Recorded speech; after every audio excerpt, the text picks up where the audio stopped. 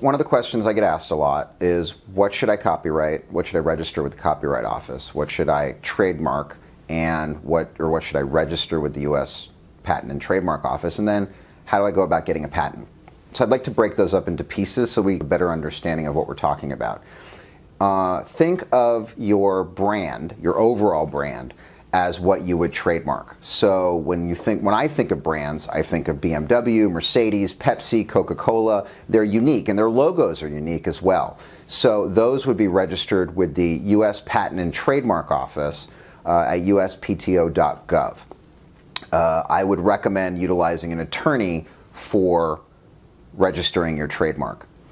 A patent, from my understanding, is a unique business model or a unique product or service. So a simply uh, a watch, a phone, uh, a unique device, uh, a unique business model would be potentially streaming video, uh, something new, something unique and creative. So again, I would seek out a, uh, somebody who specializes in patent law to understand a little bit more about whether or not you would necessarily qualify for a patent.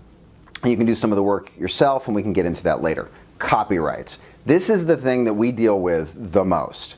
So, copyrights are literary works, uh, unique artistic works. That would be your blog posts, your podcasts, your videos, uh, music. Uh, did I say books? Books. Uh, images. These are all, uh, if you're an architect, also architectural drawings. These would all fall under the purview of the United States Copyright Office.